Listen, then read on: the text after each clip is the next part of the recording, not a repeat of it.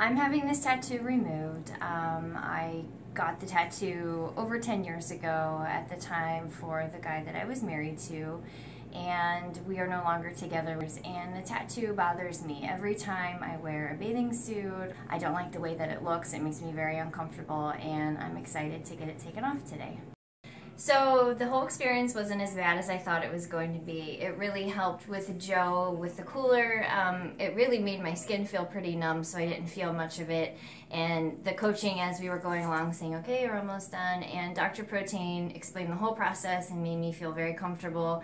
And I can't wait for my next session. It was not bad at all.